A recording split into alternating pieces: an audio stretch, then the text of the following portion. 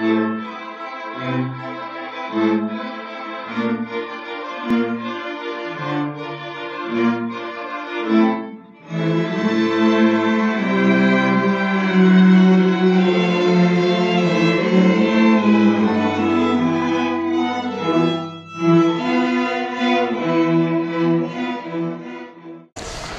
última clase la habíamos dedicado a las cantidades conservadas. Hablamos del teorema de Noether sin demostración, la demostración la he colgado. Y estábamos estudiando eh, como ejemplo de partícula en un campo electromagnético, que es un Lagrangiano un poquito especial porque depende de la velocidad, un sistema de partículas cargadas con un hilo de corriente. Entonces, habíamos acordado que el Lagrangiano era algo así, despreciando las interacciones magnéticas partícula a partícula, que causan necesidades de corriente mucho menores que la del hilo y son también mucho menores que el potencial colombiano entre las partículas. Total, que teníamos un, un lagrangiano de esta forma, energía cinética, la interacción con el hilo de corriente, que es de la forma V por A, eso caía dentro del lagrangiano de una partícula en un campo electromagnético, y finalmente el potencial colombiano. Bueno, entonces, como el tema era de cantidades conservadas, lo, lo que voy a intentar ver es si hay alguna simetría aquí que me dé una cantidad conservada. ¿vale? Para eso estamos haciendo mecánica analítica. Lo que hacemos es estudiar el Lagrangiano, mirar qué simetría puede tener y de ello deducir si hay alguna cantidad que se pueda conservar. Bueno, pues ¿quién falta en este Lagrangiano? ¿Qué variable no aparece por aquí? Si lo pensáis tres minutos, para no perder tiempo ya os lo digo, si os fijáis, el ángulo azimutal no sale para nada. Vamos a irlo viendo trozo a trozo. Primero, el potencial vector no depende de phi.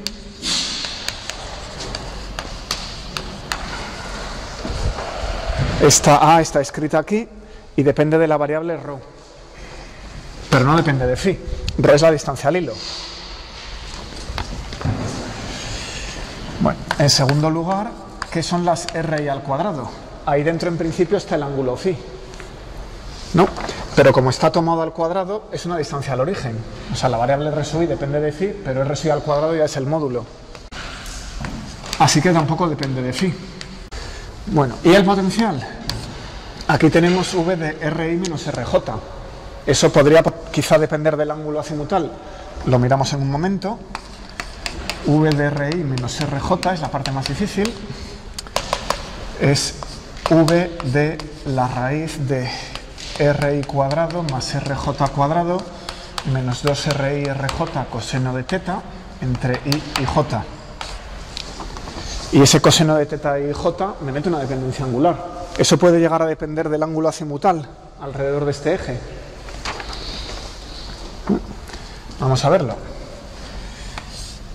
Tenemos aquí el origen puesto, la partícula i y la partícula j y estamos hablando de esta distancia. ¿Eso depende de sí? La respuesta es no. Si cojo la línea de corriente que va a pasar por el origen y giro alrededor de ella, realizo una rotación rígida, la distancia entre dos cualesquiera de las partículas no cambia. El lagrangiano sí que depende en el ángulo azimutal de alguna de ellas. Imaginemos que cogiera el ángulo azimutal de la séptima partícula. Entonces estaría cogiendo la séptima partícula y girándola. Y la estaría alejando de cualquiera de las otras. Y la estaría separando. Si cojo una de estas partículas y le aplico una rotación, sin aplicársela también a las otras, eso cambia las distancias relativas, luego cambia el potencial colombiano. Pero si cojo todas a la vez y las roto lo mismo, es decir, el ángulo phi que me da una rotación rígida del sistema alrededor del eje de la intensidad, ese no cambia las distancias entre partículas. Luego esa rotación no cambia v, así que una rotación rígida de ángulo phi no cambia el lagrangiano.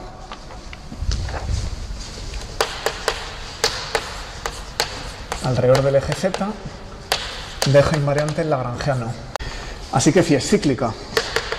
Hay una simetría. Por tanto, el momento se conserva. Obtengo rápidamente el momento canónico, es la parcial del lagrangiano respecto a phi punto para dar phi. Y eso es, ¿dónde está phi? Eh, ¿Cómo que phi punto? Eh, eso es, sí. ¿Dónde está phi punto? Claro, aquí sí no lo he cogido como una coordenada generalizada, tendría que hacer un cambio de coordenadas, pasar de las R a las Q. Y una de las Q es phi. Como las demás Q no me interesan, me voy a fijar solo en phi. Me imagino que las demás existen, no me voy a molestar en construirlas. La phi esa va a ser una de las coordenadas q sub i y las r van a depender de esa q sub i, de esa phi. Así que lo que tengo que aplicar es la regla de la cadena. Voy a sacar las derivadas respecto a r punto y luego las derivadas de r punto respecto a phi punto. Esto es m sub i r punto sub i parcial respecto a phi punto r punto sub i más. Este término no depende de las derivadas, así que se me da un 0, 0, y el último es la suma sobre i de m sub i, la derivada de r punto sub i respecto a phi punto,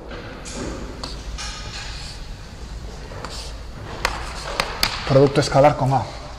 Al derivar aquí saco esa dependencia y A depende de las R's, pero no de las velocidades, así que de aquí ya no saco nada. Así que eso es el momento canónico. Vamos a trabajar esta derivada rápidamente, aquí en otro color, en amarillo. Entonces, R punto es la derivada respecto al tiempo del módulo veces la dirección. Esto ya lo hemos hecho alguna vez, pero no está mal repasarlo. Esto es la derivada del módulo por la dirección más r por la derivada de la dirección. ¿Vale? Que es igual a r punto por la derivada, o sea, la derivada del módulo por el vector unidad más. Y ahora la derivada de ese vector son los términos que siguen, que son r multiplicando a teta punto teta más seno de teta phi punto en la dirección phi. ¿Vale? Entonces, si quiero la derivada respecto a phi punto, que es lo que sale por aquí, esta derivada respecto a phi punto, esa derivada respecto a phi punto, que es lo que estamos haciendo para obtener el momento canónico, necesitamos elegir ese término. Así que la derivada del vector velocidad respecto a phi punto, pues es igual a lo que leo aquí, r seno de teta en la dirección del vector unidad phi. Así que eso sabemos calcularlo. Sustituyo esta ecuación aquí y aquí y obtengo phi, que me cabe muy justito, es la suma sobre i de mi r seno de teta sub i al cuadrado por phi punto sub i.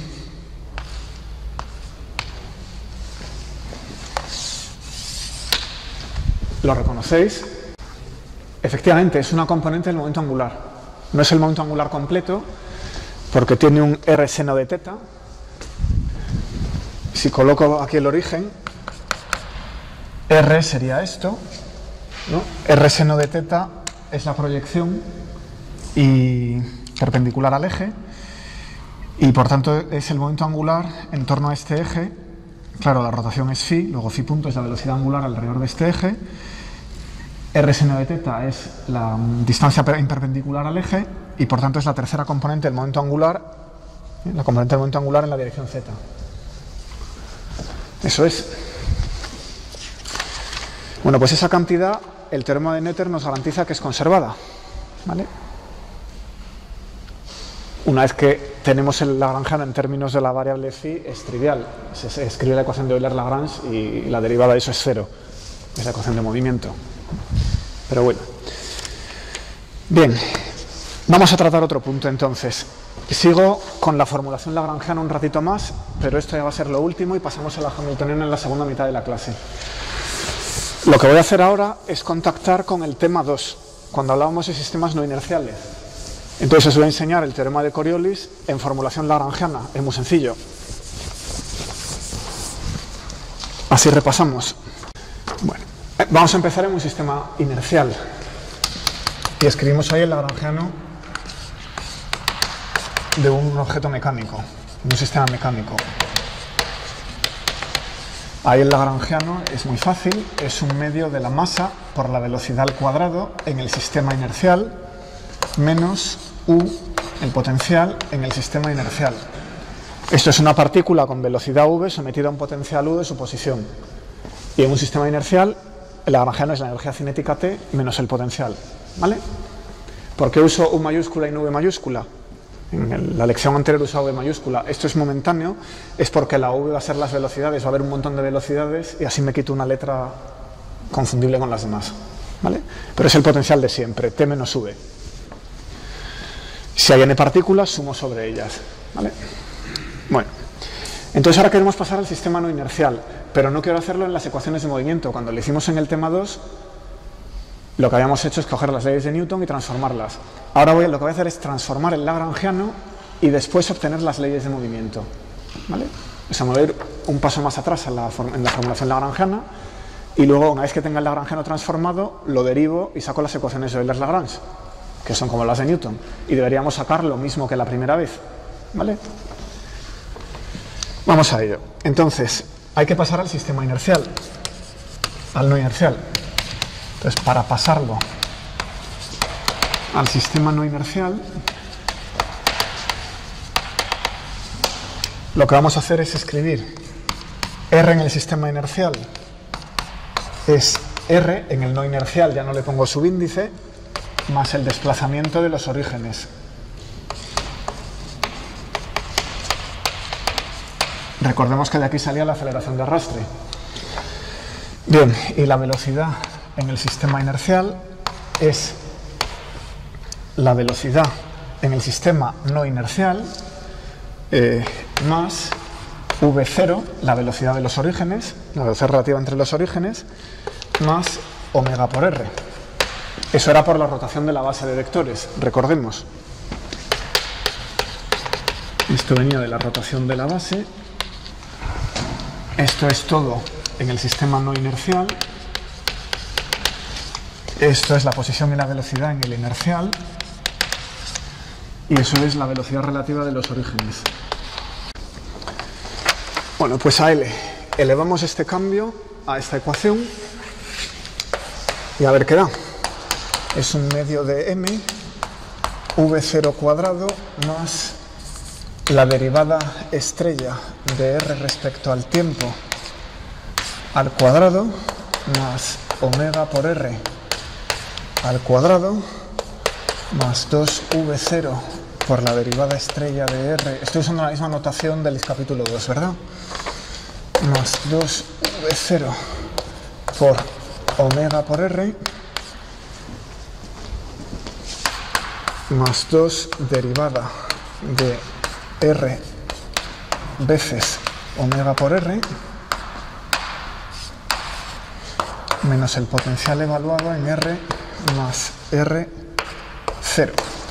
La transformación del lagrangiano es inmediata. Lo que queda es feo, pero es fácil.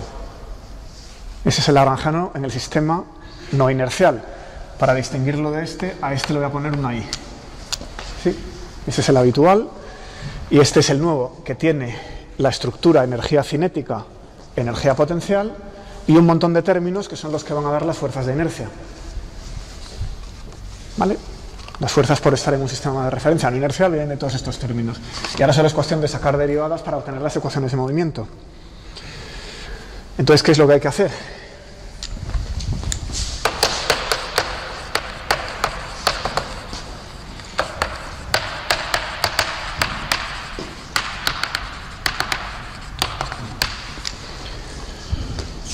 Como estamos en el sistema no inercial, en la ecuación de Euler-Lagrange espero que salga la derivada respecto al tiempo estrella de la derivada parcial del lagrangiano respecto a la velocidad, pero es la velocidad respecto a estrella en el sistema no inercial. O sea que voy a escribirlo explícitamente así. Eso sería el primer trozo de las ecuaciones de Euler. Una vez que lo tengamos, eh, de Lagrange, una vez que lo tengamos vamos a necesitar también la derivada de L respecto a R. Esto menos esto igual a cero, ya tenemos las ecuaciones de movimiento.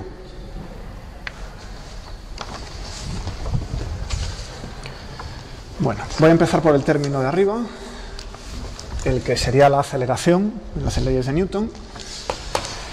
Entonces esto es parcial de L respecto, bueno, vemos este primer término, baja un 2, cancela aquel 2, me queda una masa, y luego tengo que derivar lo que queda, que es una derivada, vamos a la derivada segunda. Pero eso es la aceleración en el sistema no inercial. Así que masa por aceleración es el primer término. ¿Vale? Este otro de R, ¿dónde me he dejado el R? Hmm. Me he dejado un término. La estrella de V0, no, no me he dejado un término. Está aquí, lo que pasa es que tengo el orden cambiado. Este término, si lo derivo una vez, me baja el 2, cancela el 2, queda V0. Si ahora lo derivo respecto al tiempo, me da la aceleración de arrastre.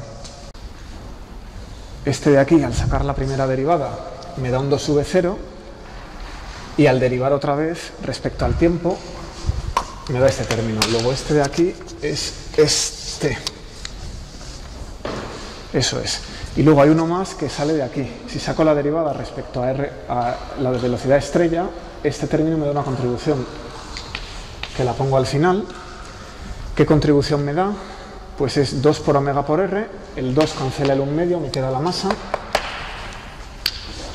y el omega por r está derivado.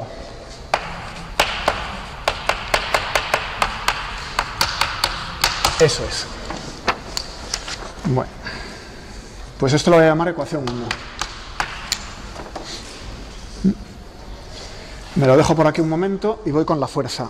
Entonces ahora la derivada de L respecto de R. Vamos a ver. El m medios lo saco delante y ahora tengo un montón de términos. Por ejemplo, este omega por r cuadrado, aquí no veo la r, aquí no veo la r, pero aquí sí. Entonces eso lo tengo que derivar. Y como no estoy seguro todavía de cómo hacerlo, lo voy a dejar indicado y ahora lo miramos separadamente. ¿Dónde más veo r's? Aquí no, aquí sí, aquí hay un 2v0 por esto de allí. Entonces tengo que poner más m medios 2v0 por omega por r.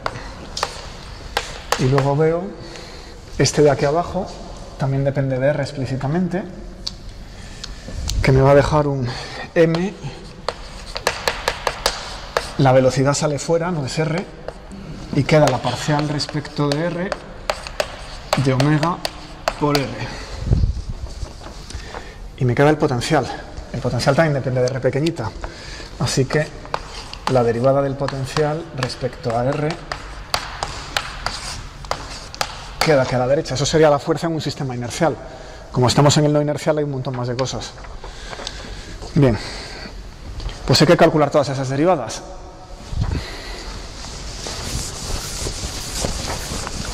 Repasad que no me haya dejado ninguna. Empecemos por la derivada respecto a R de V0 por omega por R.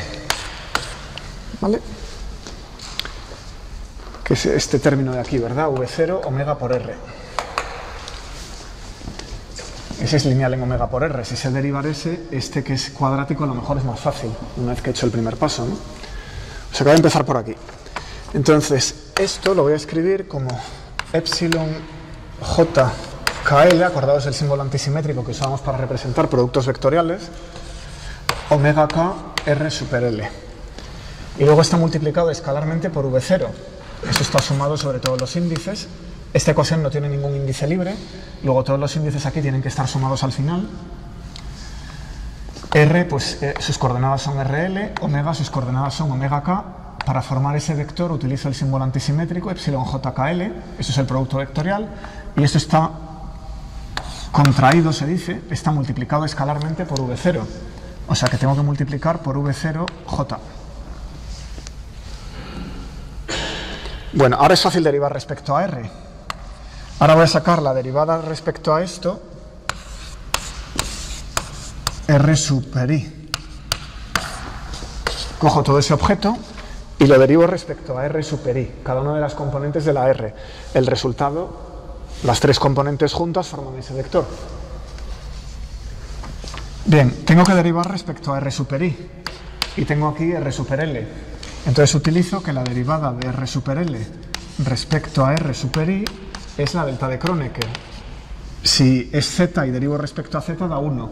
Si es Z y derivo respecto a X da 0. Pero claro, tengo una suma sobre L con una delta de Kronecker.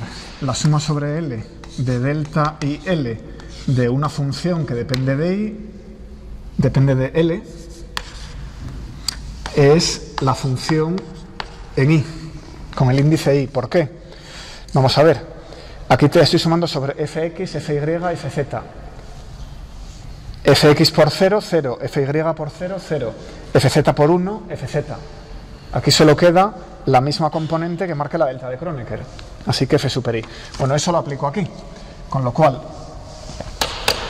esto es eh,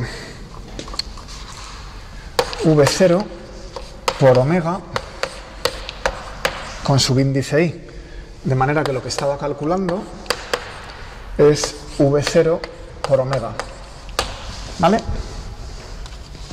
Queda v0j con el epsilon jk por omega k y la L se ha convertido en una I.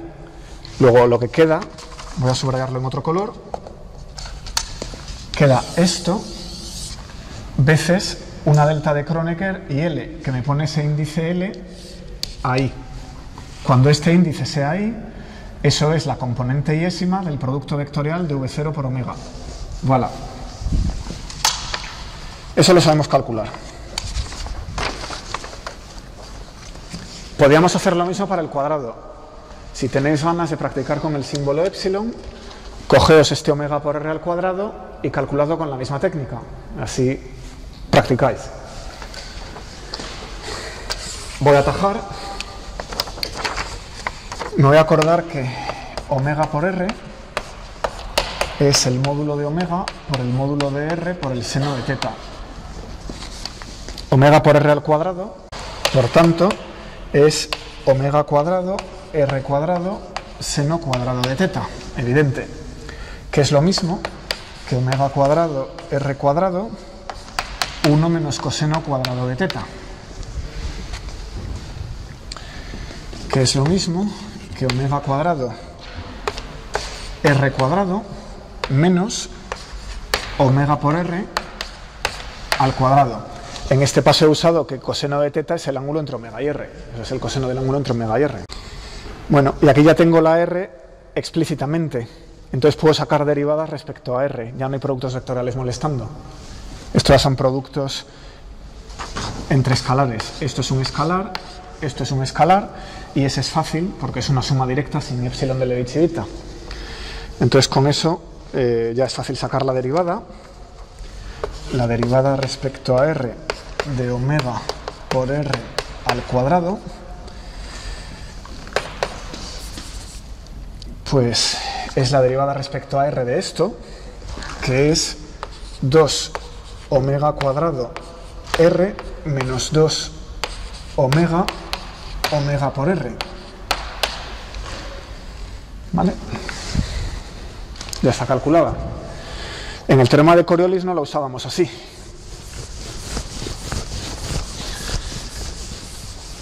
¿Os acordáis de la fuerza centrífuga? Está escrita como omega producto vectorial omega por r. Como ya sabemos lo que estamos calculando, eso me lo llevo a la forma de la fuerza centrífuga. Así que la derivada respecto a r de omega por r al cuadrado es menos 2 omega por omega por r. ¿Vale? Usando la identidad vectorial bueno, entonces con todo ello ya puedo escribir la ecuación 2 en la siguiente forma, vamos a llamarla 2', dice que la parcial de L respecto a R es igual a M por menos, M, menos omega por omega por R, que viene de aquí, eh, más V0 por omega, más V por omega, menos la derivada de U, el gradiente de U respecto a R. Eso es un gradiente, claro, es la fuerza antigua, la fuerza en el sistema inercial.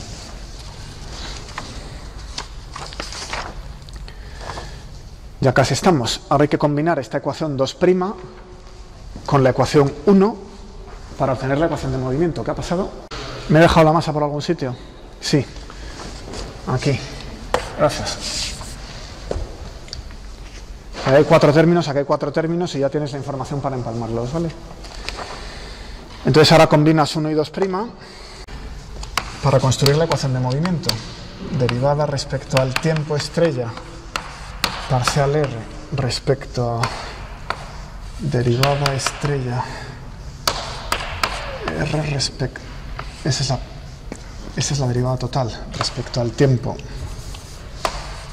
eso es. Derivada respecto al tiempo de la derivada del lagrangiano respecto a la velocidad. Menos parcial del lagrangiano respecto a r igual a cero.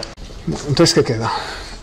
voy combinando los términos de 1 y 2' y leo la masa por la aceleración que estaba en 1 más la masa por la de arrastre que también estaba en 1 menos masa omega por v0 más masa derivada estrella respecto al tiempo de omega por r de 2 sacamos una fuerza centrífuga omega omega r v0 por omega. Luego tenemos m v por omega más la parcial de u respecto a r igual 0, más o menos. Eso todavía no es el termo de Coriolis, sobre algún término. Hay que darse cuenta que a por b es menos b por a. Con lo cual estos dos se van a cancelar. Y ahora sí queda el termo de Coriolis. Esa era la misma ecuación que teníamos en el capítulo 2. ¿vale? Masa por aceleración en el sistema no inercial, aceleración de arrastre. Ay, eh, le, tengo que dar una transformación más. Tal como lo habíamos escrito, este término lo tengo que abrir. Para, porque aquí veo la derivada respecto al tiempo de la frecuencia angular pero ese término lo teníamos separado como la aceleración azimutal. Dejadme aplicarle la regla de Leibniz a ese término y ya, ya queda igualito. Masa por aceleración es igual a menos la parcial de U respecto a R, que es la fuerza, claro, la fuerza externa, y ahora menos masa, omega por omega por R, que era la centrífuga, más, y de aquí saco dos términos, saco uno que es la derivada de r, ese término es igual a este, si no me equivoco. Pero está al revés, luego hay que darle la vuelta y ya vemos la aceleración de Coriolis. O sea que de aquí y aquí, del término que, donde la derivada se aplica sobre la r, sacamos 2 omega por v. Y del otro, tengo un amarillo, que es derivar esta omega. Si derivo esa omega, pues saco eh, la aceleración azimutal, ¿verdad? Omega punto por R, aceleración angular por el radio, por la posición. Y ya solo me queda la aceleración de arrastre que se ha quedado por allí colgada, la incorporo. Todo esto es igual a cero, no, ya ha pasado la aceleración allí y luego ya está. Así. Eso es el termo de Coriolis exactamente como lo dimos en su día. ¿Vale? O sea que ya lo hemos sacado de la formulación lagrangiana, no hay misterio. Bueno, pues entonces cierro la formulación lagrangiana y voy a motivar la hamiltoniana. Hemos pasado de las ecuaciones de Newton a las ecuaciones de D'Alembert, de ahí a las de Lagrange, a esta formulación con el principio de Hamilton, y todavía le vamos a dar una vuelta de tuerca más. Voy a motivarlo. Entonces lo primero que voy a hacer es familiarizarnos un poquito más con la función h Cuando hablábamos de cantidades conservadas, nos ha salido una función que llamaba energía.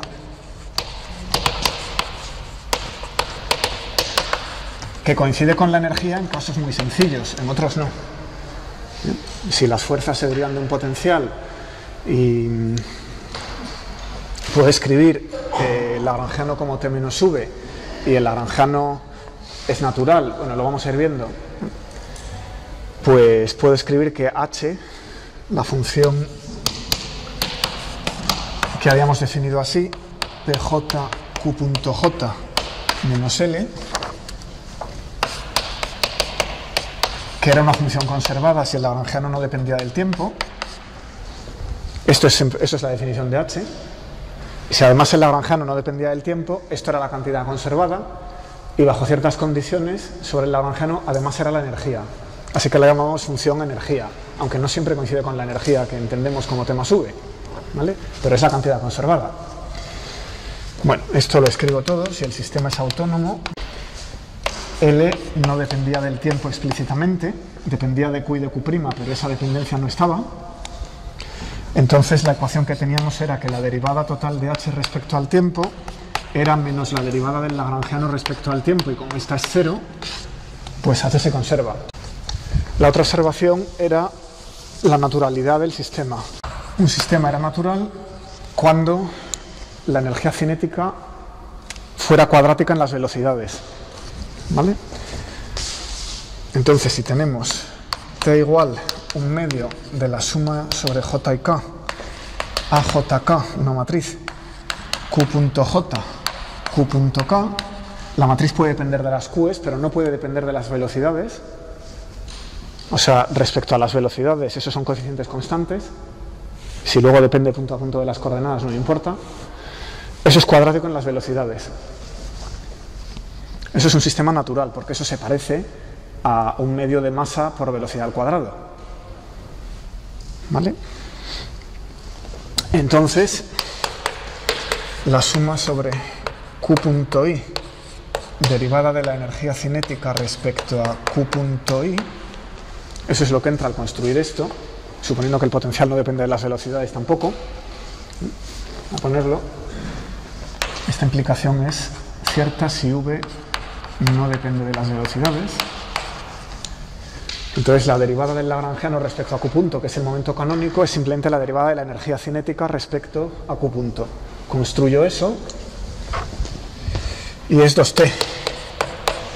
¿Vale? Porque como esto es cuadrático, al derivar quito una, pero como lo puedo hacer dos veces, también quito el un medio. Cuando multiplico por Q punto y sumo, reconstruyo esto, pero me he quedado sin el un medio. Así que es 2t, evidentemente. Entonces, ¿qué pasa?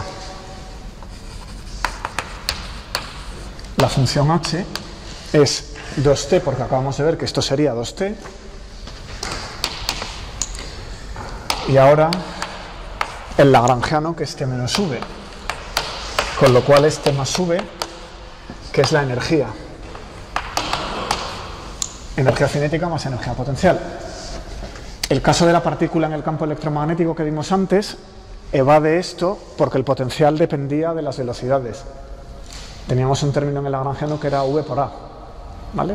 Entonces, en ese caso, eh, esto no era cierto. Aquí lo que salía era el potencial de Coulomb, no el potencial completo del lagrangiano. Salía solamente, lo, lo recordáis de la semana pasada, ¿verdad? Salía phi y no phi más v por a. O sea que esta función energía entre comillas coincide con la energía que esperamos bajo esas condiciones. Sistema natural, eh, que es t cuadrática en las velocidades y además que eh, los potenciales no dependan de las velocidades. Bueno, esto lo voy comentando porque la función h va a jugar un papel central en la mecánica hamiltoniana.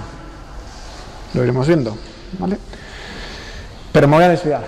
Antes de pasar a definir el hamiltoniano, me voy a desviar un rato y lo primero que voy a hacer es eh, dar un ejemplo de un sistema no natural. ¿Qué sería lo contrario de esto? Para que lo, veáis alguna vez más. ¿vale? Entonces vamos a buscar un sistema que no sea natural. Primero el comentario general. Si L no es natural, por ejemplo, una cosa que puede pasar comúnmente como las velocidades son cuadráticas, si meto traslaciones en las velocidades, al enchufarle esas traslaciones para pasar a coordenadas generalizadas a la energía cinética y expandir el cuadrado, pues genero un polinomio de orden 2, pero que no es puramente cuadrático, sino que tiene términos lineales y términos constantes. Entonces puede pasar lo siguiente, que la t tenga un medio de la suma sobre j y k de a q.j, q.k, pero que también haya términos lineales, suma de unas ciertas veces por las q.j e incluso que haya una constante. Entonces voy a darle nombres a esos términos. Este es parte de la energía cinética y es de orden 2, así que T 2. Este es parte de la energía cinética y es de orden 1, así que T 1. Eso es parte de la energía cinética y es de orden 0, así que T 0. ¿Vale? Eso no es natural. Los sistemas naturales solamente tienen este, lo que pone arriba. O sea que para ese sistema no espero que la función h sea igual a t más v. ¿Vale? Si la construyo, que tenemos suma sobre q.j parcial de t respecto a q.j, que es 2t2 más t1. Este es el mismo de antes, vuelve a dar t2. Esto es nuevo. Si derivo una e respecto a q.j, saco la b, pero si multiplico por q y vuelvo a sumar, reconstruyo lo mismo. O sea que vuelvo a recuperar exactamente t1 sin el factor 2. ¿Vale? Bueno, y si esto lo sustituyo en la expresión de h, h es esto menos es 2t2 más t1 menos el lagrangiano. Pero el lagrangiano es t2 más t0 más t1 menos v. ¿Vale? T menos v, t tiene tres partes, t2 más t0 más t1. Una de las t2 es me resta una de aquí y me queda t2, el t1 cancela este y me queda restando el t0. Así que h es t2 menos t0 más v, que desde luego es distinto de t más v. ¿Vale? T sería T0 más T1 más T2, es otra combinación. O sea que esta función h, energía, entre comillas, coincide con la energía aquí, si la energía cinética es cuadrática y el potencial no depende de las velocidades, sino en general no. ¿Vale? Bueno, pues iba a haceros un ejemplo de sistema de este tipo, para que no quede como una rareza teórica. Hay sistemas muy sencillos a los que les pasa eso. Aquí tengo una cuenta ensartada en un alambre. ¿Vale? Entonces, si hago girar el alambre a velocidad angular constante, bueno, yo no soy capaz de hacerla girar a velocidad angular constante fácilmente, pero una manera de conseguirlo es enganchar esto a un volante de inercia. Una manera barata de hacerlo es cuando se os pinche la bici, sacáis la rueda, atáis esto a un, a un radio que esté muy cerca del centro y hacéis girar la rueda. Como la rueda pesa tanto, gira a velocidad angular constante a todos los efectos y esto, por tanto, como gira solidariamente con la rueda, pues está obligada a girar a velocidad angular constante. Bueno, pues ese sistema tan sencillo cae en esta categoría, los que tienen una función h que no coincide con la energía, con t más v. va a haber una función conservada y esa función conservada no es la energía. Así que tenemos un anillo vertical en rotación con omega igual a constante. Y en él insertamos una cuenta. La cuenta va a ser arbitrariamente pequeña para no tener que tener en tomar en consideración sus grados de libertad propios. Va a ser un punto material. ¿vale? Entonces el dibujo es fácil Esto gira con velocidad omega, el ángulo, de el ángulo que está girando es phi, así que phi punto es igual a omega.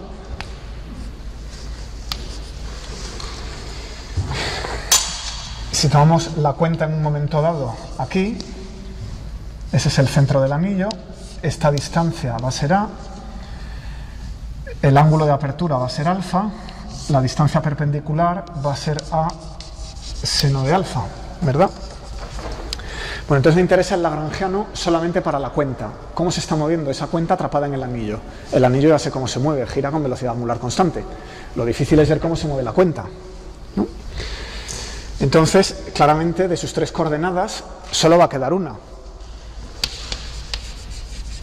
La cuenta tiene tres coordenadas, las R su I, si queréis, pero tiene que haber dos ligaduras, porque solo queda un grado de libertad que le obliga a moverse sobre ese anillo. Entonces voy a adoptar como coordenadas para la cuenta rho, phi y alfa. Alfa es este ángulo que me da la posición a lo largo del anillo. Phi es la orientación del anillo, que afecta también a la cuenta, claro. Y rho, pues va a ser la distancia al eje, que en este momento es a seno de alfa. Si la ligadura se satisface, hay dos ligaduras. Una es que rho es a seno de alfa y la otra es sobre phi. Como esto está girando con velocidad angular constante, phi es omega t. ¿Todo el mundo lo ve? Borro y lo pensáis un momento. ¿Preguntas sobre el planteamiento? Tengo una cuenta, tres coordenadas, hay dos ligaduras y me va a quedar una coordenada libre. Luego el lagrangiano va a ser un lagrangiano resolviendo las ligaduras para una sola coordenada. Pues el lagrangiano va a ser t menos v El potencial es fácil, así que voy a empezar por aquí. Vamos a elegir v igual a 0 cuando la cuenta está abajo del todo. Cuando alfa es 0, aquí abajo, el potencial es 0. Con esa elección sabéis escribirlo, smg por a por 1 menos el coseno de alfa. ¿Vale? Potencial gravitatorio de siempre. Tengo las ligaduras, tengo el potencial. Entonces ahora la energía cinética. Para construir el lagrangiano necesito la energía cinética. Claro, el potencial solo dependía de alfa. Ya está. Solo depende de la altura, básicamente. Eh, pero ahora tenemos, para, tener, para ver la energía cinética, tenemos que tener en cuenta todo el movimiento. Esto está cayendo, pero también está girando. Entonces voy a hacerlo de dos maneras rápidamente. Primero la manera en la que uno se da cuenta que el movimiento tiene dos partes. T calculado de la primera manera y aquí vamos a hacerlo si no me diera cuenta de lo que voy a poner aquí, como lo haría en general de manera sistemática y estúpida. ¿Vale? Entonces primero me voy a dar cuenta que este movimiento es la composición de dos movimientos perpendiculares. Entonces las energías cinéticas se suman, es una suma de cuadrados. Hay un movimiento que es a lo largo del anillo, y ese es el movimiento circular de siempre. Eh, cuando alfa cambia, me da una velocidad angular alfa punto, y si tengo un radio a seno de alfa, pues eh, tengo un radio A, es el radio de ese movimiento es A, porque es hacia arriba, a lo largo del anillo, o sea que el radio es A, y es el movimiento vertical, voy a ponerle una barra vertical, no de la cuenta, eso es m medios de A por alfa punto al cuadrado. ¿Vale? Pero claro, el anillo está girando y eso hace que la cuenta tenga energía cinética de rotación también en este plano.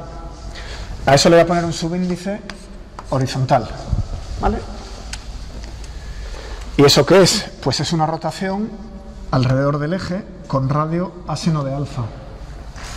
O sea que tiene que ser m medios de a seno de alfa y ahora me falta la velocidad angular pero la velocidad angular es la de rotación del anillo, así que le tengo que poner una omega. Y esto al cuadrado. Sumo las dos cosas y tengo la energía cinética. Esa es la manera espabilada de calcularlo. Ahora la otra, no me he dado cuenta de esto y me lo voy a calcular siguiendo el procedimiento legal. ¿Vale? Entonces lo que tengo que hacer es escribir las R's en términos de las Q's. Así que escribo x igual a seno de alfa coseno de omega t, y igual a seno de alfa seno de omega t, z igual menos a coseno de alfa. Esos son x, y y z, las r's, respecto a las q's, que en este caso solo es una, la alfa. ¿Vale?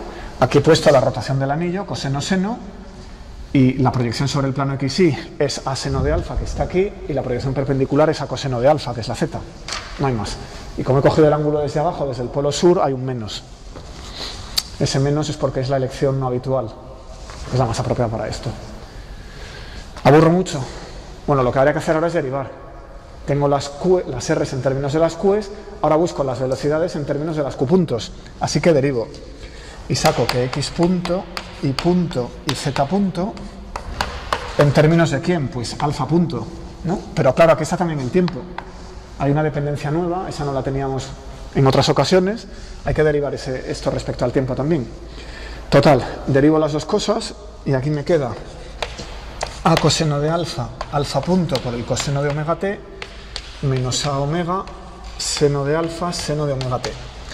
Aquí tengo a coseno de alfa, alfa punto, seno de omega t, más a omega, seno de alfa, coseno de omega t. Y z punto resulta ser a seno de alfa, alfa punto. Esas son las velocidades. Entonces ahora ya puedo construir la energía cinética. Lo que tengo que hacer es poner m medios de x punto cuadrado más y punto cuadrado más z punto cuadrado y expresar esto en términos de las q's, que aquí solo es alfa. O sea que tengo que sustituir esa ecuación aquí. ¿Vale? Al sustituirlo me voy a dar cuenta de varias cosas. Primero, el cuadrado de esto, x cuadrado más y cuadrado, de, con derivadas, aquí tengo el seno cuadrado de omega t y aquí el coseno cuadrado de omega t. Estos los combino y me va a quedar a cuadrado omega cuadrado seno cuadrado de alfa. O sea que este término va a dar eh, m medios de a cuadrado omega cuadrado seno cuadrado de alfa. Si elevo este al cuadrado pasa lo mismo, x punto cuadrado más y punto cuadrado me dan un coseno cuadrado más un seno cuadrado y me dejan esta cantidad que es común a las dos al cuadrado. Pero cuando la combine con z punto al cuadrado, el seno de alfa al cuadrado con el coseno de alfa que ha quedado aquí al cuadrado también da 1. O sea que solo queda a cuadrado alfa punto cuadrado. Estos de aquí me van a dar m medios de a cuadrado alfa punto al cuadrado. Y en naranja, los términos cruzados. Al elevar este al cuadrado tengo este por este. Y al elevar este al cuadrado tengo este por este, multiplicado por 2. Entonces los términos cruzados son m medios de a cuadrado omega coseno de alfa seno de alfa alfa punto veces 2 y ahora hay el que viene de arriba y el que viene de abajo. He puesto los factores comunes delante y lo que queda debajo es menos coseno de omega t, seno de omega t que viene de aquí, hay un menos, coseno por seno, y de abajo sale un más, seno por coseno. Seno de omega t, coseno de omega t. Y como son iguales y de signo contrario, se cancelan. ¿Vale? Así que solo quedan los dos términos que teníamos antes el correspondiente al movimiento vertical y al movimiento horizontal. Claro, no hay términos cruzados porque he elegido dos movimientos perpendiculares, por eso ha funcionado el primer cálculo. Sale lo mismo. Bueno, paramos aquí cinco minutos y sigo, ya tenemos el laranjeano. Bueno, pues tenemos el laranjeano. El potencial es el MGA por 1 menos coseno de alfa y la energía cinética MA cuadrado partido por 2 por alfa punto cuadrado más omega cuadrado seno cuadrado de alfa.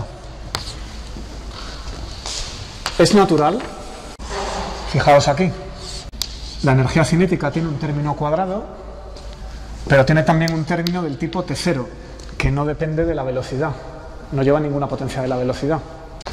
Vamos a sacar el momento canónico. P alfa es la parcial de L respecto a alfa punto.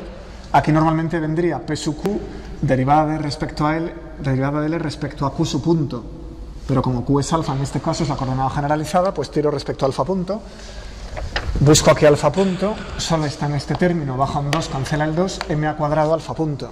O sea que el momento canónico es muy fácil.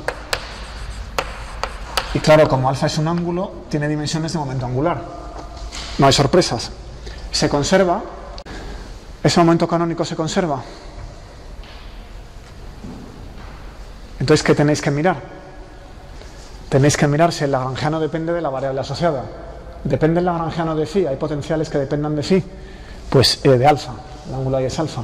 Sí, aquí hay una dependencia en alfa y aquí hay una dependencia en alfa. Luego la variable, la variable alfa no es cíclica y esto no esperamos que se conserve. Recordemos que la derivada respecto al tiempo del momento canónico alfa era menos eh, más la derivada de L, tal como lo he puesto es más, la derivada del Lagrangiano respecto a alfa. Como eso no es cero, salvo en puntos muy concretos, el, pues el momento canónico no se conserva. Bien, vamos con la función h, que es de lo que quería hablar hoy, la función energía. Esta se conservaría si el hamiltoniano fuera independiente del tiempo. ¿Vale? Vamos a construirla. ¿Se conserva? Lo primero, sí, porque el, el lagrangiano no depende explícitamente del tiempo. Como el lagrangiano no depende del tiempo, sabemos que hay una cantidad conservada por el teorema de Nete y sabemos que es h porque ya lo hemos construido en otro momento. Así que h se conserva. Bueno, entonces, eso es curioso. Este es un sistema que no parece autónomo porque le estamos forzando con una velocidad angular. Pero una vez que he resuelto la ligadura dependiente del tiempo y escrito el Lagrangiano en términos de esta variable alfa, ya no hay ligadura, ya no hay dependencia en el tiempo, resulta que el Lagrangiano efectivo para la partícula de, coordenada alfa eh, sí que es autónomo. Hay una función h que se conserva, lo cual desde el principio no parecía obvio. Bueno, entonces, la suma sobre pj y q.j, que me hace falta para obtener h, luego le resto el lagrangiano. Pues como solo hay una variable, la suma solo corre sobre un término, así que esto es p alfa por alfa punto, no hay más. p alfa ya lo tengo construido, es m a cuadrado alfa punto cuadrado. Ahora saco la h. Es p alfa, alfa punto menos el lagrangiano. Y esto es igual a m medios de a cuadrado alfa punto cuadrado. Ese término lo tengo aquí con un 1, pero también lo tengo por aquí con un, un medio y se lo estoy restando. Así que me tiene que quedar con un medio positivo. Y lo demás es aquello mismo, ya no, no hay que hacer nada más. Esto lo escribo. A cuadrado seno cuadrado de alfa omega cuadrado más mga 1 menos coseno de alfa. ¿Vale? Esta función resulta que se conserva. Porque tal como está escrito el sistema es el de un lagrangiano autónomo, no, no depende del tiempo. Pero no es la energía. ¿Dónde veo que no es T más V? Es este signo. Ese signo en la energía cinética parecía al revés. Si yo escribiera T más V, pondría el MGA por 1 menos coseno de alfa, eso lo tengo, pero luego escribiría esto con ese signo más. Y sin embargo estos dos términos tienen signo relativo menos. ¿Vale? O sea que esto es un ejemplo de sistema no natural. El H se conserva, pero resulta que no es igual a la energía habitual, T más V. Y es por culpa de este T0. Físicamente, ¿por qué no se conserva la energía T más V? Vas bien, pero hay alguna cosa que no me ha gustado. Por ejemplo, que la fuerza de ligadura sea tangente. Pero déjame decirlo de manera más breve, vas más o menos bien. Es que eh, para mantener omega igual a constante, el motor o lo que sea tiene que realizar trabajo sobre el sistema. Eh, si la cuenta sube, lo que se conservaría, imaginemos que dejamos al sistema libre en el aire, lo que se conserva es el momento angular, no la velocidad angular, que son distintos. La velocidad angular no es constante. Cuando la cuenta sube o baja, la velocidad angular tiende a cambiar. Entonces, para imponer que la velocidad angular sea constante, el motor tiene que realizar trabajo. ¿Vale? Eso inyecta energía en el sistema. Por eso no se conserva la energía. O entra energía o sale energía a través de lo que quiera que sea que mantenga omega constante. Bueno, y ahora la observación que te acaba de hacer. Segunda pregunta, ¿realiza trabajo la ligadura? La respuesta es sí. Por esa misma razón hay que aumentar o disminuir la energía de la cuenta para mantener la omega constante cuando se está desplazando por el anillo. Eh, es una ligadura no ideal. Vamos a coger un trozo del anillo, pongo aquí la cuenta. Entonces, ¿cómo son aquí las fuerzas de ligadura? Pues hay una fuerza de ligadura asociada a la omega, y hay otra fuerza de ligadura asociada al alfa punto. Así en plan light, ¿no? Sin meterme en mucho vericueto algebraico, intuitivamente tenemos dos movimientos angulares, esto se tiene que quedar en, el anillo, luego tiene que haber dos fuerzas de ligadura. La rotación del anillo en el plano alrededor del eje vertical, que es la rotación de la cuenta en el plano horizontal, como es alrededor de este eje, me tiene que dar una fuerza de ligadura aquí, así, perpendicular al eje, no al anillo. Esta sí, esta es perpendicular al anillo. El que la cuenta sube o baje me da una fuerza de ligadura perpendicular al anillo, pero esta no le es perpendicular. Así que esta fuerza realiza trabajo. Claro, coincide con la que sostiene el, momento, el movimiento angular a velocidad constante. ¿vale? La no es ideal. Esto quiere decir que el principio de D'Alembert no nos da cobertura. ¿eh? Cuando escribimos el principio de D'Alembert como principio de la mecánica, exigíamos que las ligaduras fueran ideales. O sea que este sistema parece que es todo perfecto, suave y funciona, lo estamos sacando del principio de Hamilton o de las leyes de Newton, pero justo el principio de D'Alembert aquí no funciona, ¿vale? Bueno, tal como lo escribimos. Bueno, pues un ejercicio más con esto, antes de volver a la teoría. ¿Cuál es la posición de equilibrio de la cuenta? Si habéis girado el juguete, os habréis dado, habréis observado, os habréis dado cuenta que cuando lo giráis la cuenta no se queda abajo. Vamos a usar esto para sacar la posición de equilibrio. ¿Dónde está? ¿Quién tiene ahora mismo el alambre? Hazlo girar y lo vemos.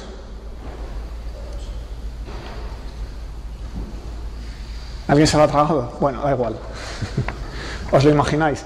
Si giráis el alambre muy deprisa, la cuenta por la aceleración centrífuga sube. No está en equilibrio abajo del todo.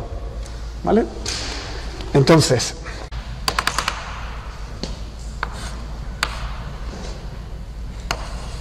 la posición de equilibrio va a ser esta. Claro, aquí tiene que haber un equilibrio de fuerzas. La gravedad tira para abajo, pero debido a la rotación se da para arriba. ¿Dónde está el equilibrio? Pues sacamos de ahí del lagrangiano y voy a escribir el lagrangiano de la siguiente manera. Imaginaos que no sé de dónde viene todo esto. Alguien coge y me da este lagrangiano y yo no sé de dónde lo ha obtenido ni qué sistema describe. ¿Qué vería?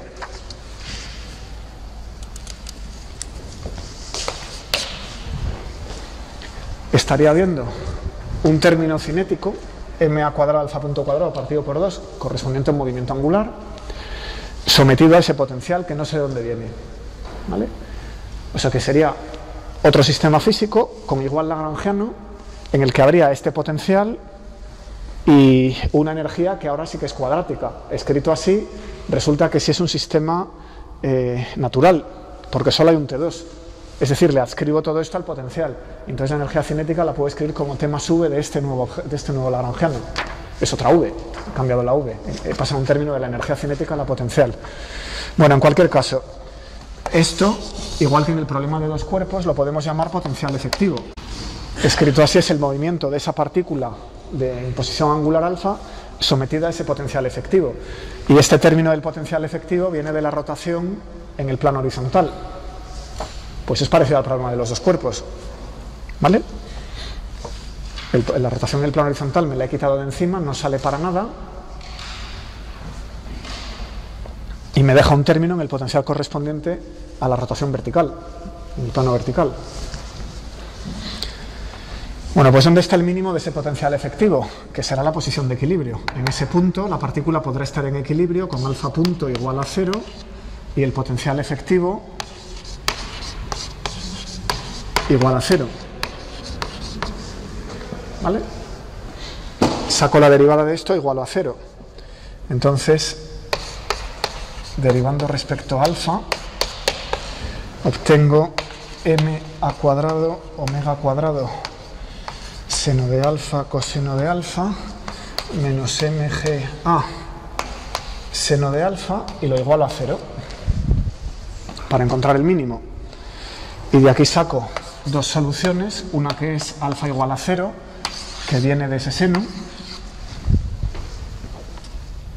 y eso es, no es un mínimo del potencial efectivo, es un punto extremo, pero no es mínimo, lo podéis ver sacando la segunda derivada, y el otro punto que es coseno de alfa igual a g entre a omega cuadrado, que es el cociente entre la fuerza de la gravedad y la centrífuga, ¿verdad? Y ese es el estable. Pues cierro el ejemplo. Esto era para discutir un poquito la función h.